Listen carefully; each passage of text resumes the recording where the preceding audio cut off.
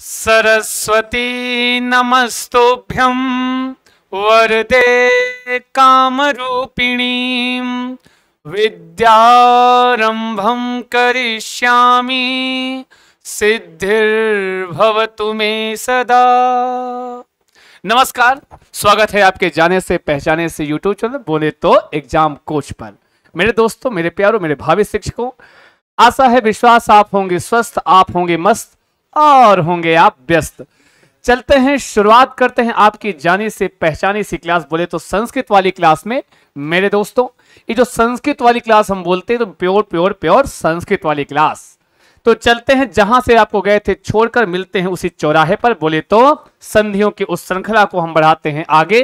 और उन संधियों की श्रृंखला में हम लोगों ने जो संधियाँ पढ़ी थी, हम लोगों ने गुण संधि पढ़ ली थी, हम लोगों ने वृद्धि संधि पढ़ ली थी, और हम लोगों ने दीर्घ संधि। तीन संधियों का अध्ययन स्वर संधि के अंतर्गत हम कर चुके हैं। चलते हैं आपसे एकदम नई नई, ताज़ा ताज़ा, एकदम नोटी नोटी अच्छी अच्छी, एकदम नई वाली संधि बोले तो यण संधि। कितने बढ़िया संधि। कौन सी संधि? यण संधि। कौन सी संधि भैया? बोले तो यण संधि है। यण संधि का जानते हैं, हर संधियों का अपना अपना एक सूत्र होता है। अब जितने गुरु जी आते हैं अपना सूत्र बता के जाते हैं तो हमारा सूत्र सुनो भैया।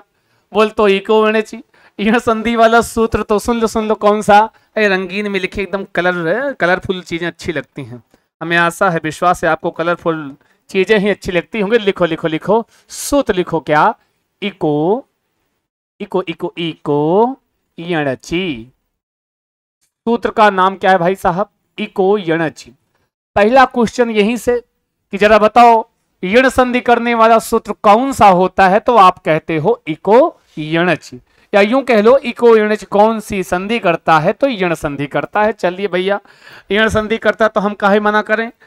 पढ़ने लिख के चले गए तो इसका मतलब समझ लेते हैं, इसका अर्थ समझ लेते हैं, इस सूत्र का अर्थ। इस सूत्र क्या कहता है आपसे? इसमें दो तीन चीज़ें हैं, एक है इक, एक है यण और एक है अच्छी इसी में होगी आपकी संधि। क्या क्या बताया? एक में है आपका क्या? इक। इको मतलब इक, यण मतलब तो आप जानते ही हैं, यण। उसके बाद यहाँ अंतिम में का बचा? तो बोलो बोलो बोलो, मुँह को खोलो, कुछ तो बोलो। बचा है अची। समझ में आया? इक, यण, अची। इतनी चीज़ें प्राप्त ही, यही इक, यण और अची। यही तीन चीज़ें मिलकर आपको यण संधि को समझाएँगे बताएँगी और आप पहचानोगे, इक क्या होता है, अण क्या होता है और अच क्या होता है। यहाँ पर इक से क्या तात्पर्य है? ऐसे लिख लेते हैं थोड़ा सा इक, फिर यहाँ पर यण, फिर यहाँ पे अच से तात्पर्य क्या है? अच प्रत्याहार। समझ में आया? अच से क्या तात्पर्य है? अच प्रत्याहार। ठीक? इक एक प्रत्याहार में है, इसमें कौन से वर्ण आते तो आप कहते हो, ई आता है ऊ आता है ऊ आता है। अब बोले तो री आता है, फिर री। ई, उ, री और री, ये चार वर्ण ये आते हैं। यण की बात करते हो तो या आता है, फिर वा आता है, फिर रा आता है और बोले तो ला आता है। फिर चलते हैं अच की ओर। तो अच का मतलब तो आप जानते हैं, शुरुआत में ही मैंने पढ़ाया वर्णमाला जहाँ से मैंने स्टार्ट किया था, वहीं बताया था। यण का मतलब सॉरी, अच का मतलब होता है स्वर। बोले तो क्या? बोले तो बोले तो बोले तो स्वर। अब आपके पास इतनी चीज़ें हैं। और मैंने शायद आपको बताया, क्या बताया? यही तो बताया कि तीन चीज़ें अगर आपको पता होंगी, पूर्वण पता होगा, परवण पता होगा, संधिवर्ण पता होगा तो संधि बेहद आसान हो जाती है। चलते हैं, समझते हैं इनको पूर्वण और परवण के संदर्भ में कि अगर पूर्व में कौन सा वर्ण हो, पर में कौन सा वर्ण हो, तब कहीं जाके यण संधि बनेगी। अगर ऐसा ऐसा हो तो किसके स्थान पर क्या आदेश होगा? पूरी संधियाँ पढ़ाने से पहले मैं कुछ भूमिका के तौर पर आपको बता दूँ। अगर आप यण संधि से जब शुरुआत करते हो, अभी तक आपने वृद्ध संधि तक देखा होगा कि आपको दो वर्णों के मेल को संधि कहते थे आप तो क्या होता था? आपका पूर्वर्ण होता था पर वर्ण होता था दुनों के स्थान पर नया वर्ण आदेश होता था। होता था कि नहीं? ऐसे आया आ के बाद आ के बाद आ आए तो दोनों के स्थान पर दीर्घ आदेश होता था। आ के बाद अगर ई आता था तो आ और ई दोनों के स्थान पर ए आदेश होता था। अगर आ के बाद दीर्घ आ के बाद ए आ, ए, ए आता है तब दोनों के स्थान पर अय आदेश होता था किंतु यण संधि में पहुँचते पहुँचते यहाँ पे दोनों के स्थान पर आदेश नहीं होगा किसी एक वर्ण के स्थान पर नया वर्ण बनेगा वो हम देखेंगे सीखेंगे जानेंगे कैसे होगा देख लेते हैं। जैसे थोड़ा सा आगे भागते हैं और देखते हैं क्या। जी। कहते हैं, अगर हम परिभाषा के तौर पर जानना चाहें, समझना चाहें तो आप ऐसे बोल सकते हो, क्या, यदि ह्रस्व या दीर्घ, क्या क्या क्या, ऐसे लिख लो। ह्रस्व, या फिर चाहे दीर्घ में हो, कौन हो कौन हो कौन हो, ई हो, उ हो, री हो, और ली हो। इसके बाद क्या है भाई साहब? अगर ई, उ, री, ली के बाद कोई भी स्वर आए, अच यहाँ क्या लिखा भाई सब देखो, मैंने क्या बताया, अच का मतलब यहाँ पे स्वर हैं। स्वर कितने होते हैं? नौ ठू होते हैं संस्कृत में। स्वर नौ होते हैं तो भाई साहब अगर हम यहाँ ऐसा कहें, जैसे यहाँ वहाँ अच की ई उरीली के बाद स्वर आए, कहीं गलती से ई के बाद क्रमशः ई के बाद ई ही आ गया तो क्या यण संधि होगी? नहीं होगी। क्यों? ई के बाद ई आएगा तो वहाँ दीर्घ का रूप ले लेगा, इसीलिए यहाँ आप ऐसा लिख सकते हैं, कोई असमान स्वर आए। क्या है असमान स्वर। समान स्वर आएगा तो गड़बड़ी हो जाएगी, भाई साहब, है? असमान स्वर आए कहते हैं, आपस में भैया पटेगी कि नहीं पटेगी, कैसे पटेगी? जब तक बराबर का मामला होता है तभी सब आपस में समझौता बढ़िया रहता है, तभी संधि बढ़िया होती है। कौनो ज़्यादा बन गया, बढ़ गया तो कहाँ समझौता होगा? वही कह रहे हैं कि ई उरील के बाद अगर कोई असमान स्वर आता है, तब वहाँ पर यण संधि होती है। समझ में आया? कैसा हो? याद रखना, असमान स्वर। कभी कभी क्वेश्चन यहाँ से भी ऐसे पूछ सकता है। कैसे पूछ सकता है कि जरा बताओ? ई उर्ली के बाद असमान स्वर आने पर संधि कौन सी होती है? तब आपको बताना होता है, भाई साहब भाई साहब, क्लास क्लास क्लास, यण संधि होती है। कौन सी संधि होती है? भाई साहब, यण संधि होगी। अब कहते हैं, यण संधि में आदेश वर्ण कौन सा होता है? अब ऐसे जान लो भाई साहब, कैसे जान लो? क्लास में है, क्लास में है। क्या होगा भाई साहब? आगे देखो आगे देखो आगे देखो, इधर देखो। ताको ताको ताको। ये हो गया आपका पूर्वण क्या हो गया? ये आएगा आपके पूर्वण में। ये आएगा आपके परवर्ण में। और मैंने यही कहा है, तीन चीज़ें आपको पता हो पूर्वण परवण और संधिवण तब आपको पता चल जाता है कि संधि कौन सी है। अब जब ऐसी कंडीशन कहीं भी किसी भी शब्द में आपको देखने को मिले कि इधर आपके पूर्वण में ई री में से कोनो वर्ण आया हो, चाहे ह्रस्व होगा, चाहे दीर्घ होगा, और उसके बाद कोई भी असमान स्वर आया है, तब क्या होता है? तब भैया यही होता है क्या? ई के स्थान पर। क्या क्या क्या?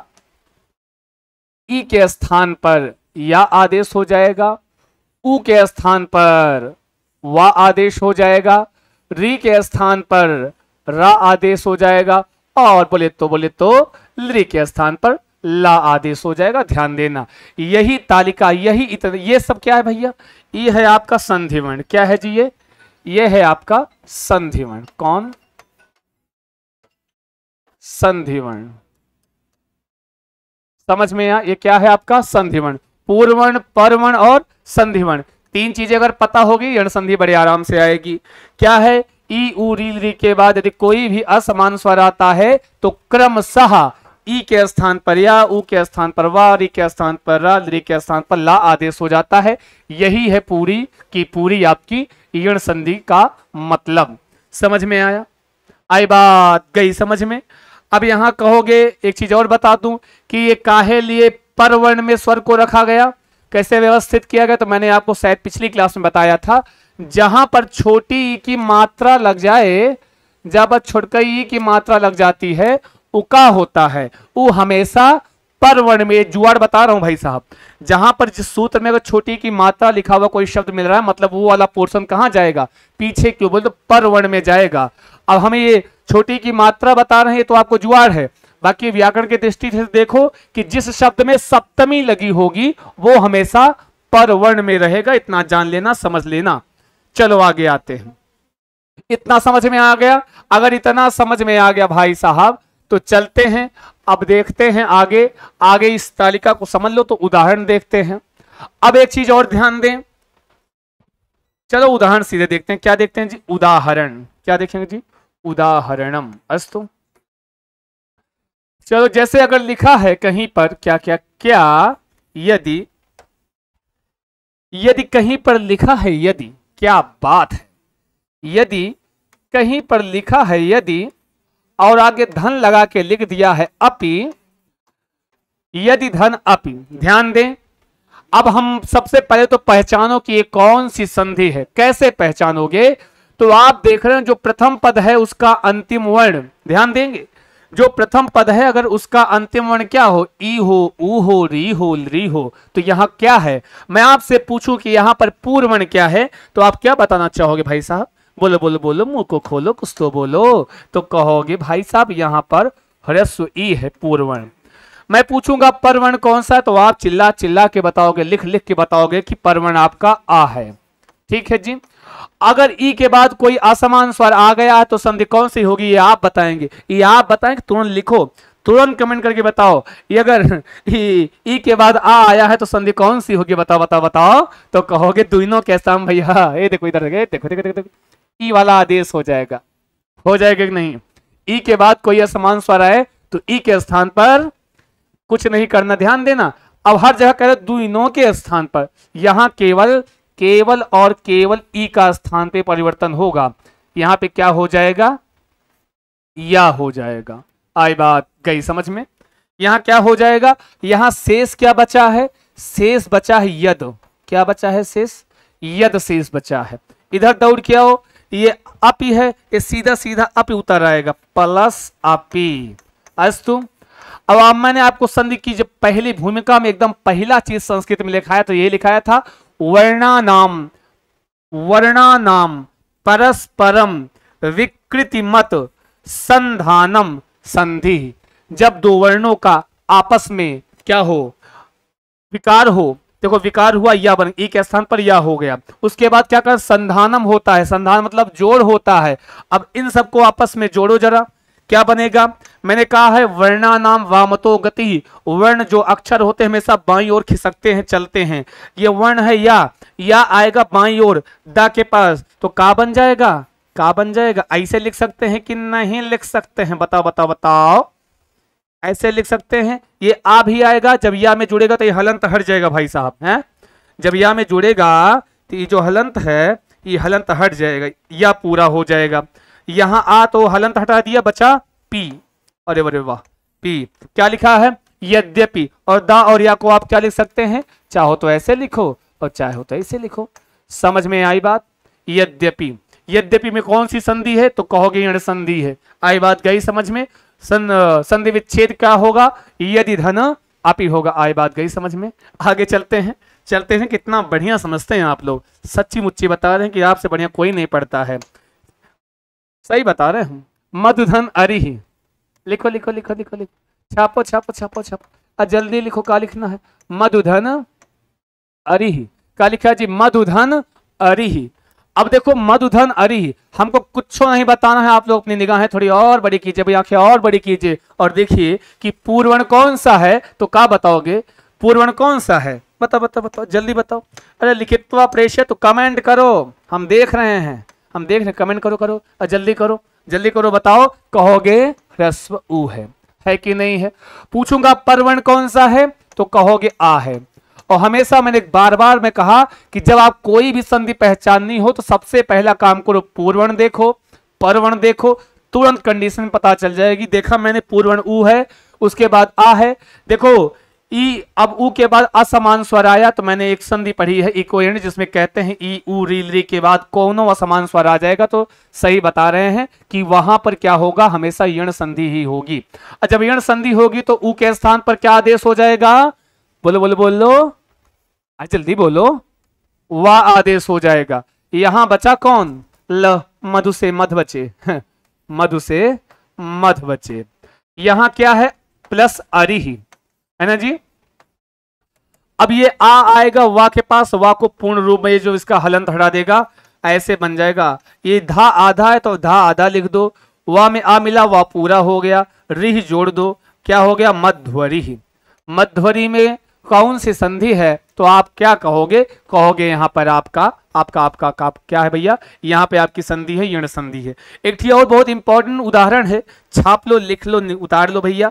इंपॉर्टेंट उदाहरण है नाम है उसका क्या क्या क्या? तो बोलोगे सुधी धन उपास्य हम क्या जी? सुधी धन उपास्य छाप लो भैया।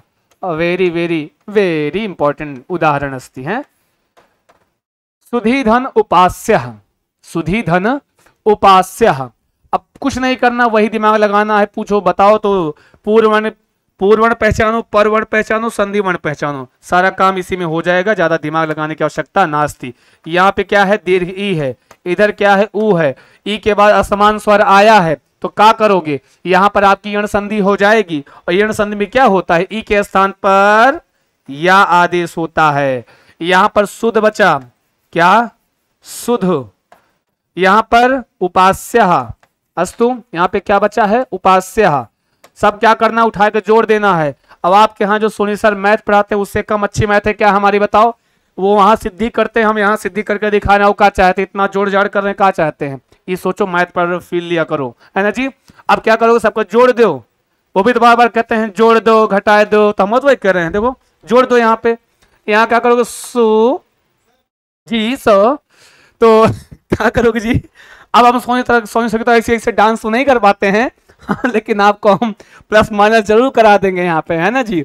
ऐसे ऐसे करो, अब ऐसे ऐसे या में ऊ जोड़ो, है? यू हो गया आप पास्या लिख दो, क्या बन जाएगा? शुद्धि उपास्या वेरी इंपॉर्टेंट उदाहरण है भैया।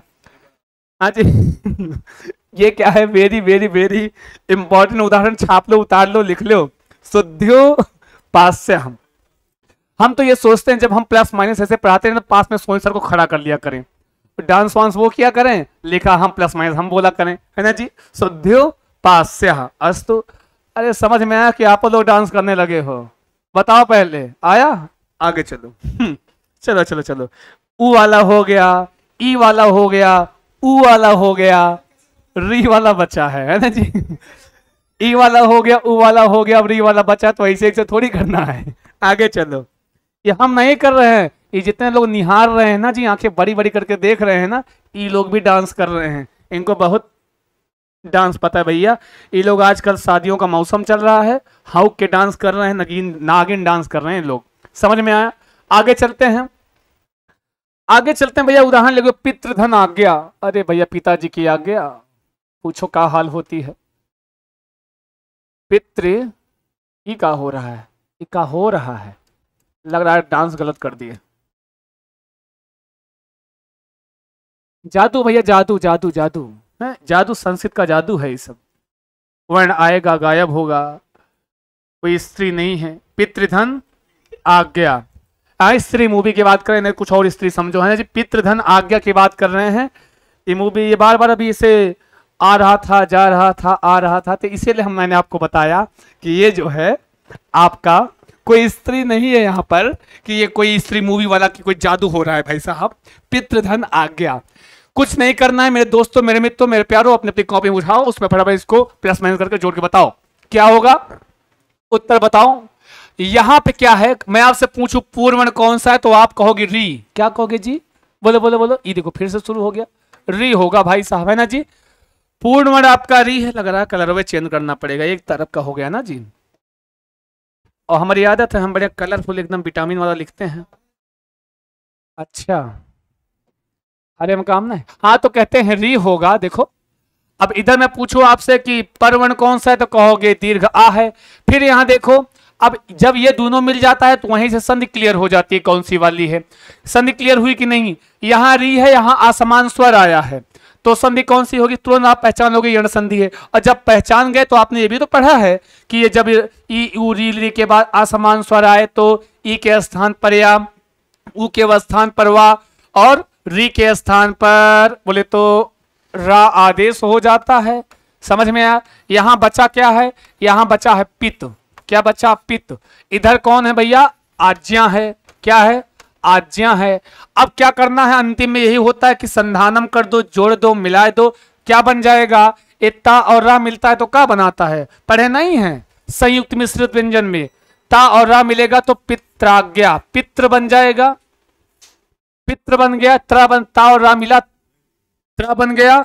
अब ये दीर्घ आ है, आ के त्र में लग गया तो पित्रा बन गया। ज्या उतार दो वही से, पित्राज्ञा बन गया। एनी समस्या अस्ति?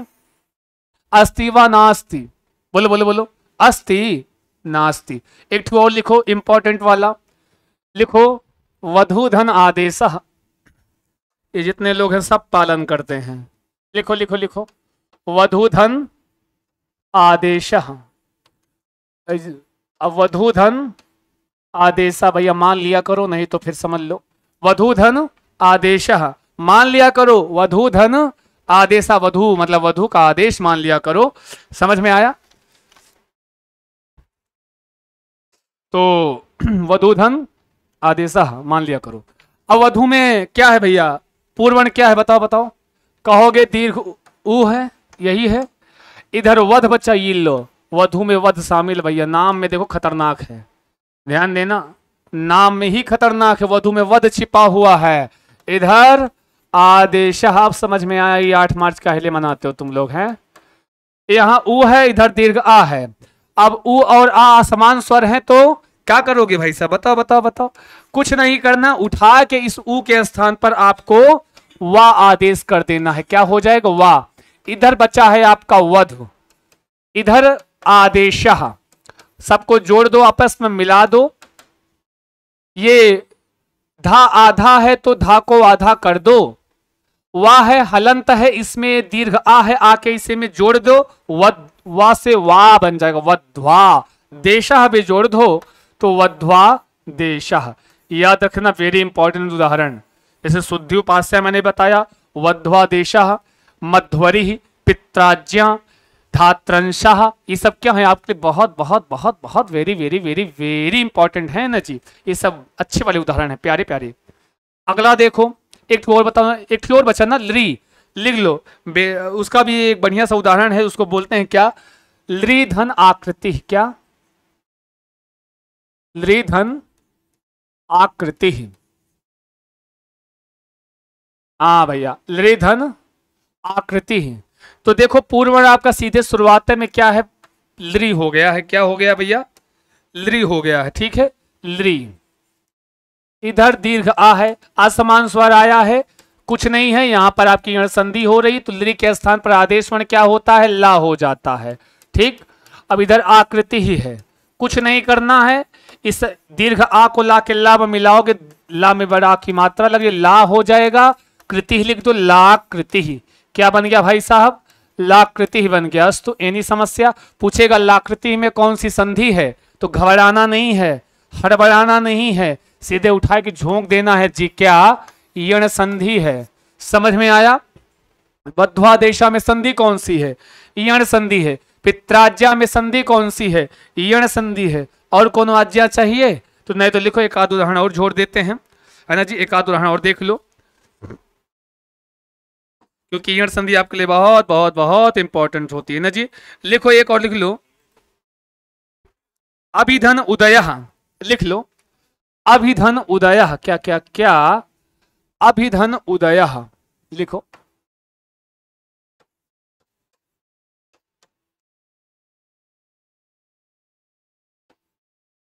अभिधन उदय। ध्यान दें। अभिधन उदय, यहाँ पे क्या है? ह्रस्व ई है। यहाँ पे क्या है?